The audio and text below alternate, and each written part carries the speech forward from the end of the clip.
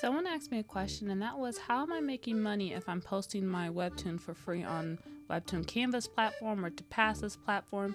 Because I had shared in a couple of videos back that I'm not contracted with Webtoon. I am just a regular, smegular, degular person who's posting their webtoon or their webcomic on Webtoon Canvas free publishing platform. So I'm not contracted under them, nor am I getting like a paycheck for however many uploads I make. So the way that I make money, even though my Webtoon is free to read on Webtoon Canva, is by Webtoon Canva's ad revenue program. Now, with Webtoon Canva's ad revenue program, I shared this in a couple videos back, and they also have this information on their website as well. So take my what I'm saying with a grain of salt because they might change stuff. I don't know. But any hoodles to apply for their ad revenue program, which is basically you get money by however it's like YouTube. You get money when people like with the ads and whatnot. So that's literally literally the thing with Webtoon Canvas.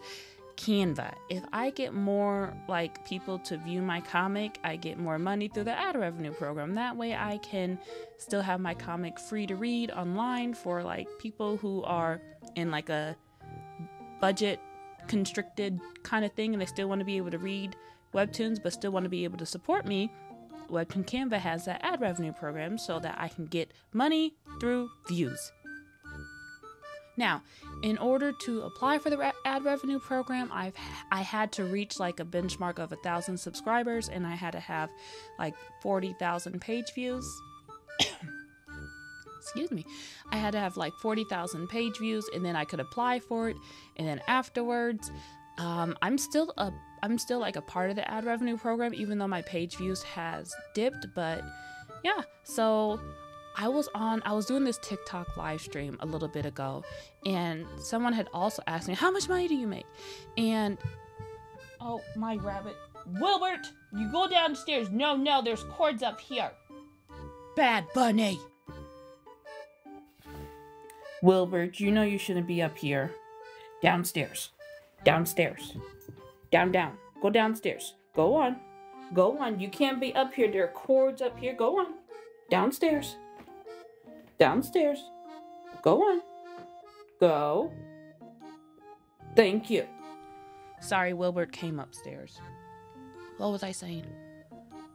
Oh, so yeah. So I ended up asking them, I'm like, well, how much money do you think I make? You know? And then they were like, well, your art's really good, so I bet you make like $80,000. and then that got me thinking, I don't I don't make $80,000 with my webtoon because it's not necessarily my it's for my situation, the amount of money I make and how my art looks, those two things aren't necessarily relevant. Where some people look at my art and they're like, oh, you must make a lot of money. And then other people might look at other art and be like, oh, that's probably not making a lot of money. It's a lot more deeper than that. it's the amount of traffic and then for, you know, Webtoon Canva, the amount of money I make depends on the amount of traffic that I can get and the people who are viewing those ads. And you might be wondering, well, your art's really good. You must get a lot of traffic. If I don't market my stuff enough, I'm not going to get a lot of traffic necessarily because, you know, Webtoon Canva is doing their own thing and I'm not contracted under them, so you know they aren't necessarily pushing my stuff. And I don't really really know if they have like an algorithm. I'm just speculating. But anyways, so that gets me on the thought process: is that why a lot of people feel like their comic or their art isn't good enough because they're not getting the traffic? And it's like it's not necessarily that your art's not good. Your art is beautiful. You know, beauty is in the eye of the beholder. What might look good to one might look bad to another. And I know a lot of people didn't necessarily like how One Punch Man's webcomic looked, but a lot of other people did like how One Punch Man's comic comic looked. You know, some people liked the art style, some people didn't like the art style. So I get comments sometimes where people are like, no, you have to have good art in order for your comic to succeed. And I'm like, art's subjective. What's good to one might not be good to another you know? And but i think they're probably saying something else that i probably might not be understanding because my brain's thinking in literal instead of general. I don't know. But anyways so for me i i try to share with other people like hey just because you might not be getting a bunch of views does not mean that there's something wrong with your comic you know? Does not it, I don't know. It's just because then when I tell people, you know, the amount of money that I do make, and then they're like, "Oh, there's no hope for me," and I'm like, "Well, you're making me feel bad because I'm enjoying what I'm doing, regardless of like the monies. Even though I do want to make monies from my work, but I don't necessarily want to.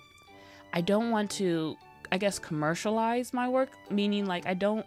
I don't want to have to like have my income predicated on how many stories and chapters and episodes I could push out. I just want this just I just want to draw and it make me happy. And if I can make money from the side with it, that will be great. You know, I don't I don't want my money to be based on how many chapters I come out with because then I'm not going to want to do the story cuz now it's just like this is no longer fun for me. Other people are different, but for me I'm like I I rather just the income be somewhat passive and I just market my stuff and go about it that way. I'm doing a whole bunch of rambling. But yeah, I did share like how much I made with half a million views on Webtoon Canva a few videos back back back if you want to check that out. So hopefully hopefully what I said was helpful. I don't know.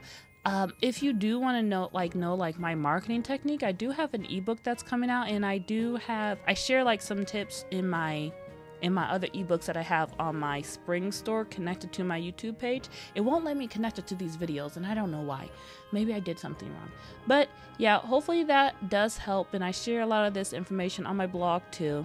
And maybe I can do like a video. I use Pinterest, which is basically I just post an image on Pinterest and add the link, and then I can drive traffic that way.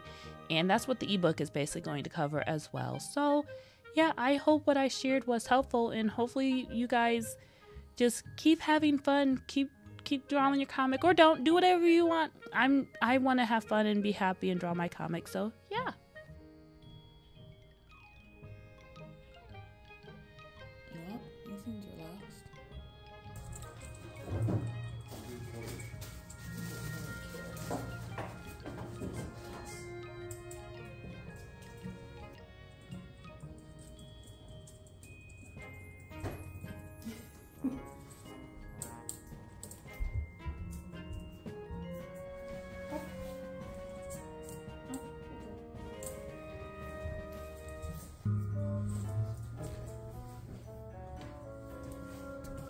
As I mentioned before, not even in the camera. As I mentioned before, UGEE gifted me this drawing tablet.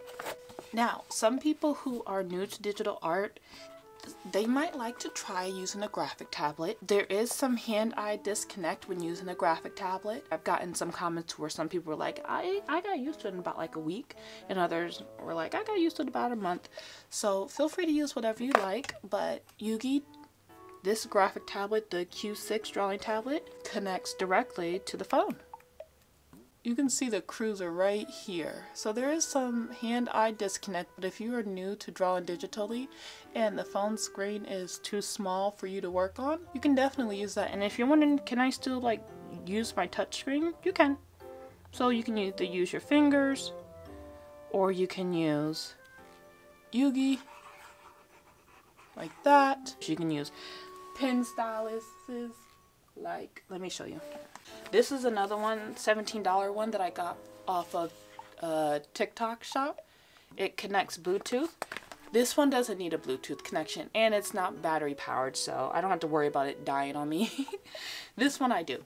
This one I don't. This is like a dollar one that I found at Walmart.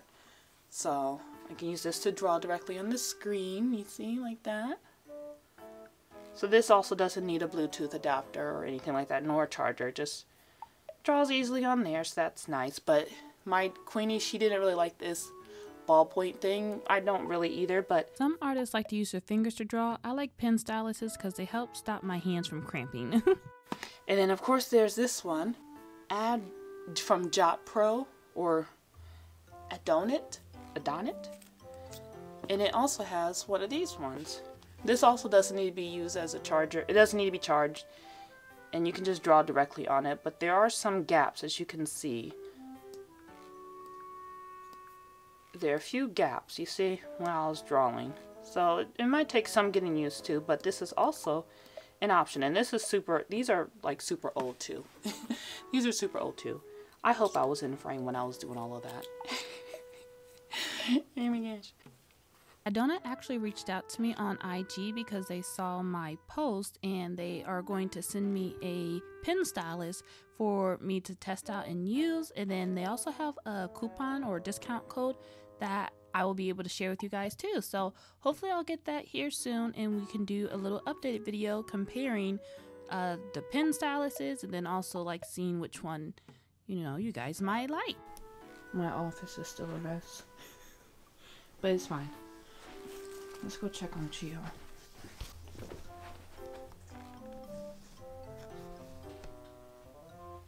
What the matter? He did just eat? Yeah, yeah. So cute. Look how cute you are. Look at your face. Look at your face. I love you so much. You're so cute. Hello. He's like, feed me. Put more in there. No, honey. The doctor said that you can only have a certain amount. So you gotta wait till 3 o'clock for your next food time, okay? Okay, thank you.